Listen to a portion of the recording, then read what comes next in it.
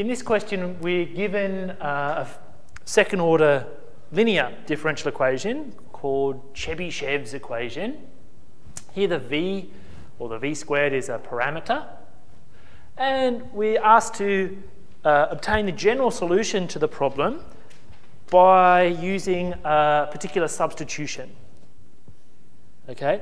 Now, first of all, before we get down to the solution method, what are we trying to do here?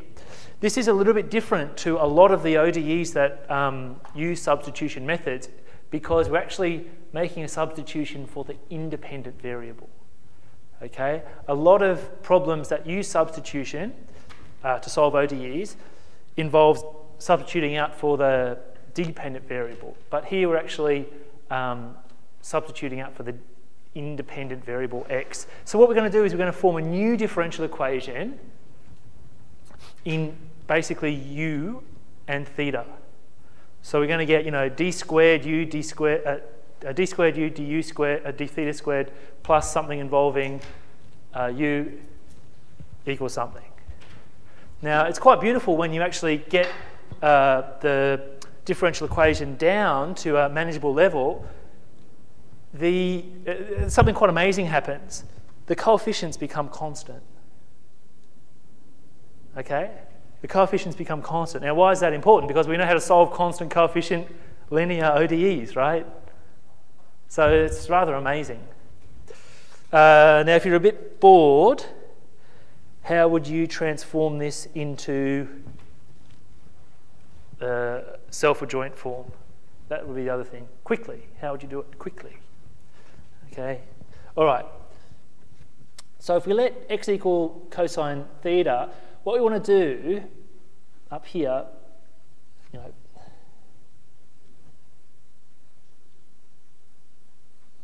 u prime, I mean du dx, right?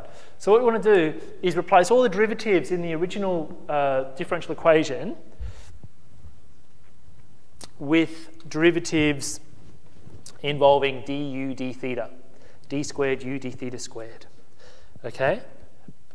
So if x equals cosine theta, let's take the differentials.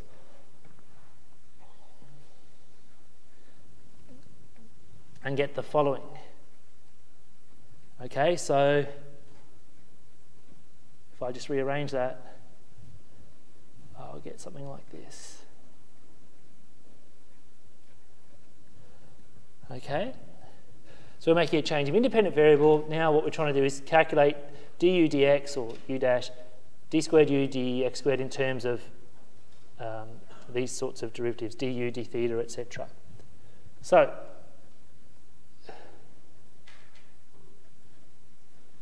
Now, just using the chain rule, I can write this as the following product. And from up here, I can replace this with following.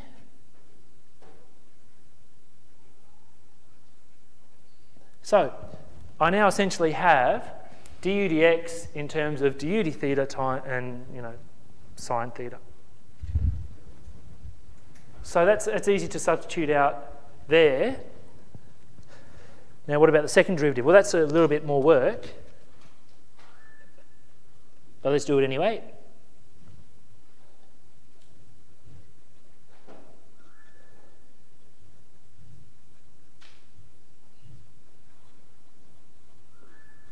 Okay, so we're just taking the derivative of a derivative. And if I just essentially write this as I did up here, I can then, you know, perhaps um, apply a product rule.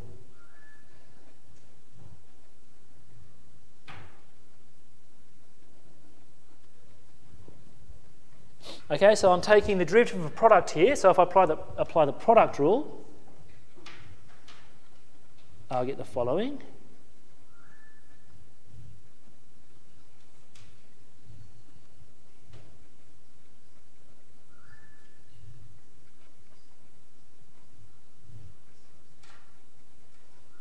Yeah? So now what? Well, I can split this differential ddx and ddx up again.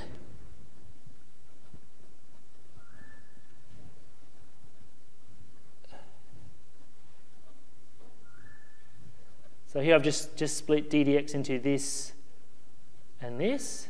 And I know d theta dx from up here.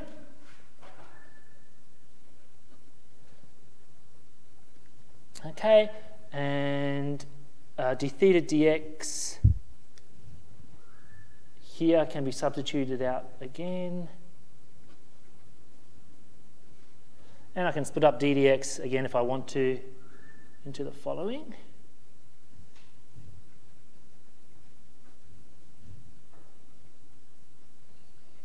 Okay?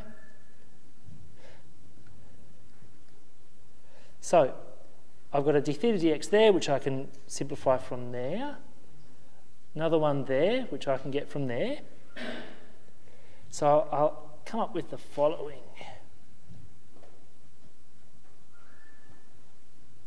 Now if I differentiate this, I'll get cosine on sine squared. So again, using this one here, I'll get a 1 on sine squared. And this, of course, the last bit is just d squared u d theta squared. Okay, so I can take a, I'm going to take a factor of 1 on sine squared out.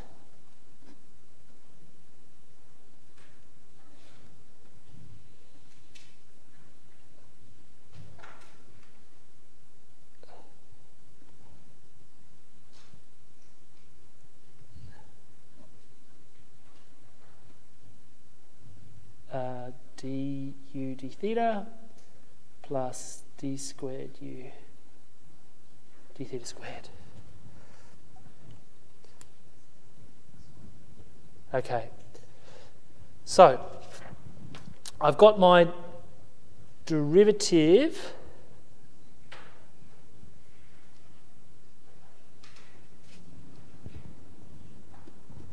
my derivative, second derivative, d squared u dx squared in terms of du d theta and d squared u d theta squared.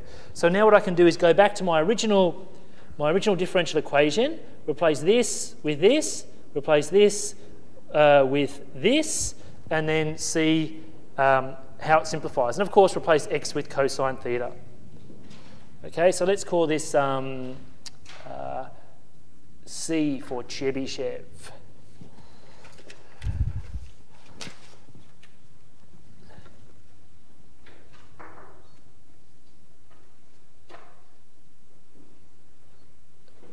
C. Okay. All right, so I'll just write the zero over here. So 1 minus x squared is going to be 1 minus cosine squared. Uh, I'll replace this with what's down here.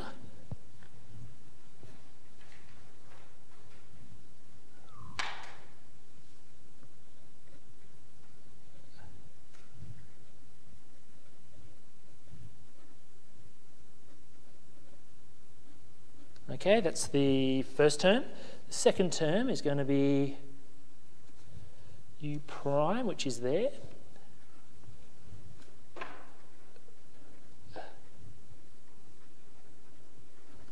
And the last term is just v squared u. Okay, so now you can see that, all right, that can be sine squared. We're going to get some cancellation out of there and you'll see that this term is going to cancel off with this term. So now the magic happens.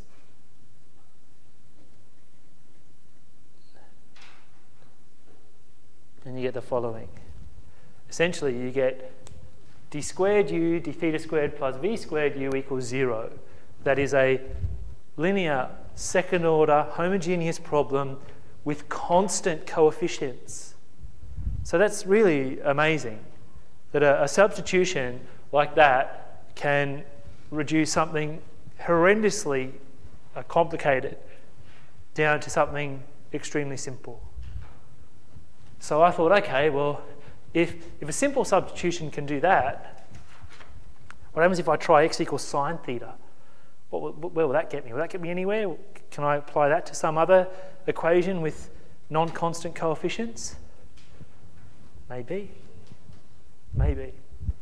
And in fact, I, I actually believe, have I, have I seen it done this way?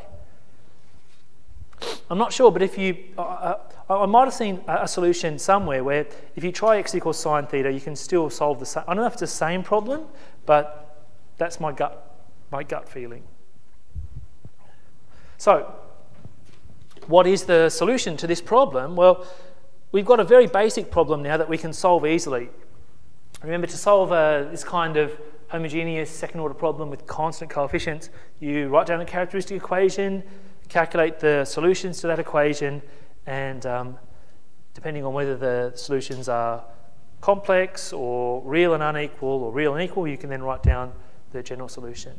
Okay, so let's call this, you guessed it, star.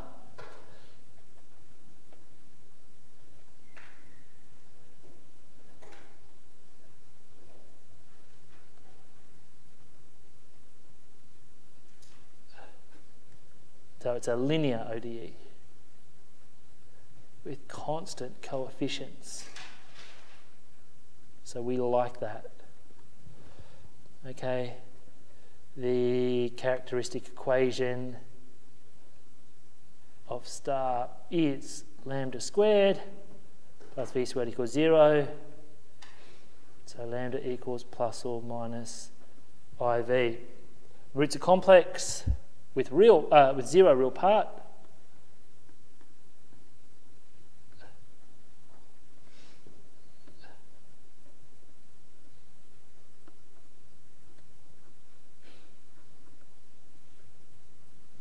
So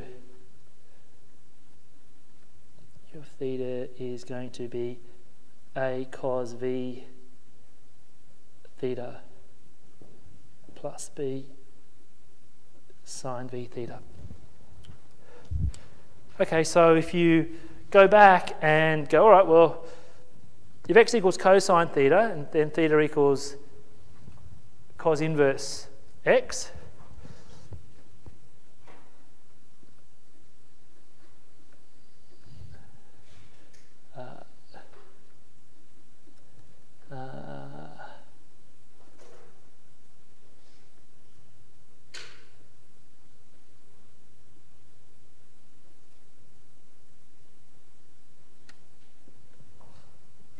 And there you have it.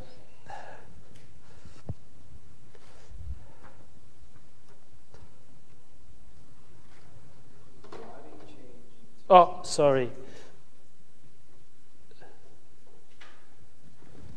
And there you have it.